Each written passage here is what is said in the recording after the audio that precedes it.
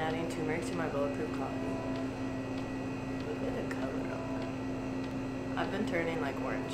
Good morning, guys. Welcome to our juicery. If you guys are new here, we are a little small town uh, juicery out of Northwest Ohio. We serve up organic cold pressed juice on our X1 Mini. Uh, today we are launching one of our holiday seasonal juices.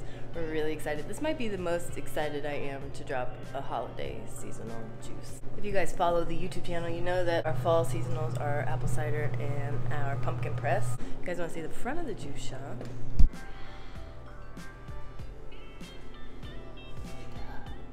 So Christmassy in here.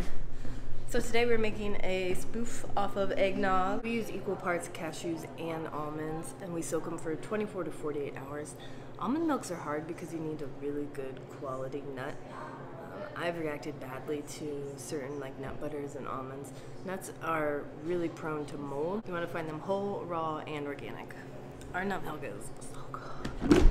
So we soak these, now we're gonna rinse them out. I have too many shades of green on. I've been having really good success with weighing out one pound of nuts and one pound of water, which is about two cups. I will leave a more at-home friendly size recipe uh, down in the description if you guys want to check that out. You can make this at home uh, just with a blender and like a cheesecloth. This would be super easy. The mini just takes the pressing to a whole different level.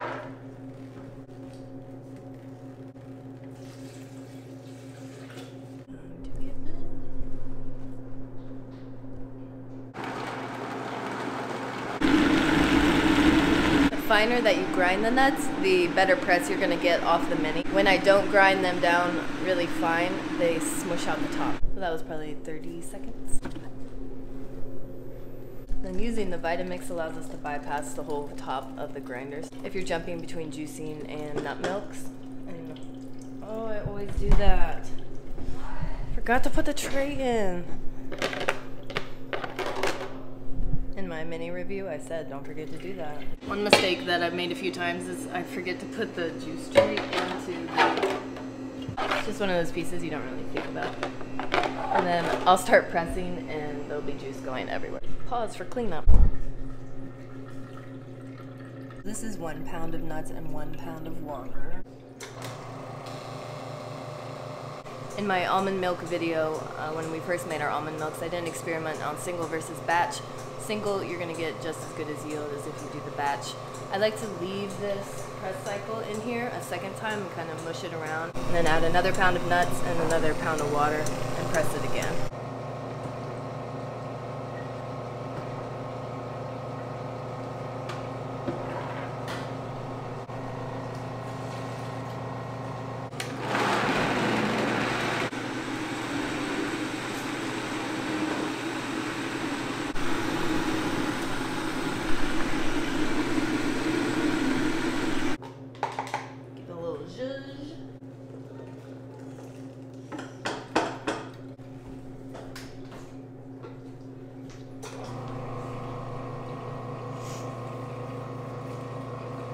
Our basic nut milk spices are just vanilla, sea salt, and maple syrup. For the eggnog, we are using those classic like holiday spices, so cloves, cinnamon, and, and nutmeg. If you don't want your vanilla to sit on top of your almond milk, mix it in with your sweetener first, so the maple syrup allows it to dissolve. Kind of like the whole oil and water don't mix thing. If you were making this at home, uh, this would be the time where you would run it through a cheesecloth and kind of squeeze it as hard as you could. The Mini does a lot better job with that. A good yield for two pounds of nuts and two pounds of water should be over 40 ounces. If you aren't getting over 40 ounces, uh, try grinding your nuts finer and try soaking them up to 48 hours.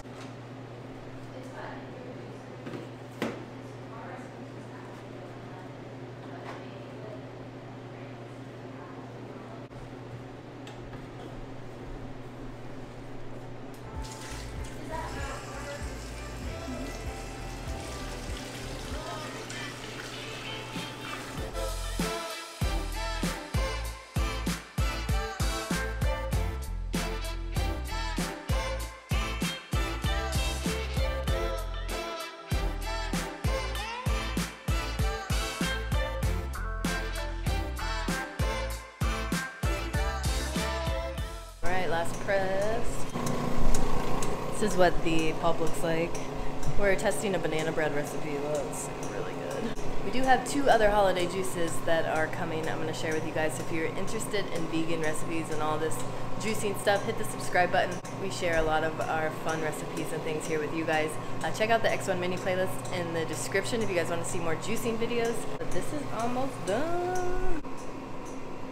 So we use our original vanilla nut milk recipe and then we're adding the spices to it. But we're going to bottle up like four nut milks um, and then make the rest.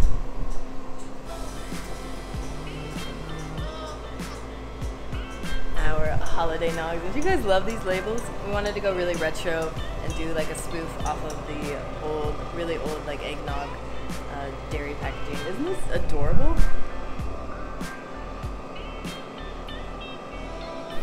I love it. This is my favorite label so far. Is that your favorite? Yeah. It's and it's gonna look so good with the like creamy background.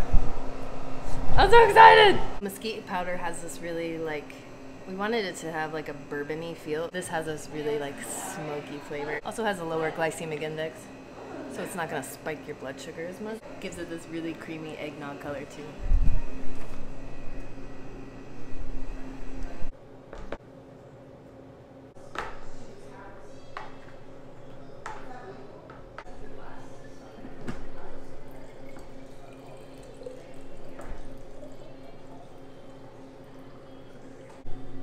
Jordan. Yeah. Come look.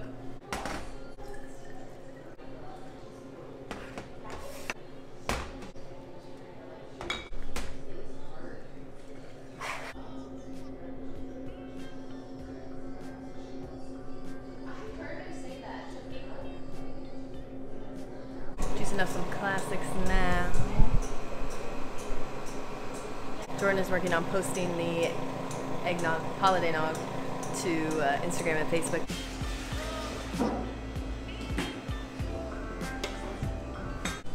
All hashtags, all posts. Oh my gosh, I need to drink water. People saying anything yet? Looks delicious. so excited. If you guys are making that at home and want to make it actually like a vegan eggnog, you can add one to two ounces of bourbon to four ounces of your eggnog and not get a bellyache. And if you don't want to get a hangover, Dave Asprey recently has been talking about adding brain octane to your drinks, even like his pre-made bulletproof coffee and rum or bourbon. If you guys want to follow along my holistic health journey, my Instagram is a great place to kind of watch all these fun things. Uh, if you want to follow our juicery, check it out. All of our links are down in the description. I will see you guys tomorrow. We're dropping another seasonal. Uh, it's a ginger shot. Little hint, hint. Uh, that'll be fun to share with you guys. Thanks for following along. I will leave the description if you guys want to make this at home of a good recipe uh, to kind of scale it down. And Have a Merry Christmas. We will see you on the next video. Bye.